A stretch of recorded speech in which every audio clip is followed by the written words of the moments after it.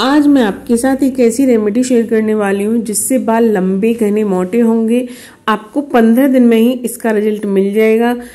आप ऑयलिंग करना बिल्कुल भूल जाएँगे बालों में। बालों में तेल लगाना बिल्कुल भूल जाएँगे। इससे आपके बाल जड़ से मज़बूत होंगे, लंबे, घने, मोटे होंगे। ये रेमेडी आपके बालों को पंद्रह दिन में ही जो असर दिखाएगी, आप खुद हैरान रह जाएँगे। बालों को लंबा, घना, मोटा करेगी, साथ ही जड़ से मज़बूत करेगी। बालों को सिल्की साइनी स्मूथ करेगी, चमकदार बनाएगी। अगर फ्रेंड्स आपको वीडियो अच्छी लगती है तो वीडियो को लाइक शेयर कमेंट करना बिल्कुल नहीं भूलना है और वीडियो को एंड तक देखना है बिल्कुल भी स्किप नहीं करना है। तो चलिए शुरू करते हैं वीडियो आपको लेना है एक पैन इसमें आपको एक गिलास पानी लेना है, फिर इसमें आपको ऐड करनी है डेढ़ चम्मच अलसी के बीज फ्लैक्स सीड्स ठीक है? इसमें vitamin E vitamin B omega three fatty acid fibre protein जैसे पोषक तत्व तो होते हैं। इसके इस्तेमाल से ना बालों की ग्रोथ बहुत तेज़ी से होती है। इससे बालों का झड़ना, टूटना बिल्कुल बंद हो जाता है और बाल सिल्की साइनी स्मूथ होते हैं। फिर इसमें आपको ऐड करनी है एक चम्मच चाय पत्ती। चाय पत्ती बालों को बहुत तेज़ी से बूस्ट करती है। इसमें पॉलीफेनॉल नाम का गुण होता है जो कि स्कैल्प को किसी भी तरह के इन्फेक्शन से बचाती है। डेंड्रफ की प्रॉब्लम हो जाती है, इचिंग की प्रॉब्लम होती है, उससे ये काफ़ी ज़्यादा हेल्प करती है चाय पत्ती और बालों को नेचुरल कलर देती है।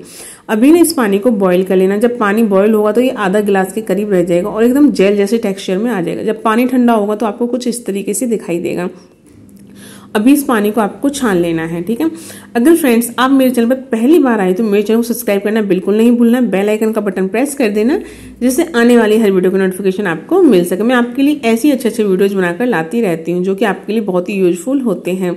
जब आप मुझे अच्छे अच्छे कमेंट करते हो तो मुझे बहुत अच्छा लगता है। तो अभी हम इसमें ऐड करेंगे एक विटामिन ई का कैप्सूल विटामिन ई बालों को काफ़ी तेज़ी से ग्रोथ करता है, बालों को रीग्रो करता है हेयर फॉल को कंट्रोल करता है, साथ ही बालों को सिल्की सैनी स्मूथ करता है।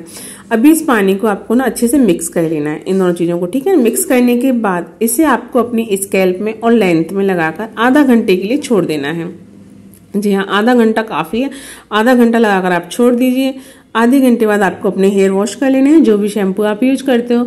आपको इस रेमेडी को हफ़्ते में तीन बार ज़रूर अप्लाई करना है। इससे क्या होगा, आपके बालों की जो रुकी हुई ग्रोथ है ना, वो काफ़ी तेज़ी से बूस्ट होगी। बालों का झड़ना टूटना बिल्कुल बंद हो जाएगा, बाल सिल्की साइनी स्मूथ हो जाएँगे। एकदम ऐसे लगेंगे आपकी है जैसे आप अभी पार्लर से निकल कर आए हो। इतनी पावरफुल रेमेडी आप इसका एक बार ज़रूर इस्तेमाल कीजिए, आपको बहुत अच्छा रिज़ल्ट मिलेगा। अपना फीडबैक हमेशा ज़रूर शेयर करना। बाय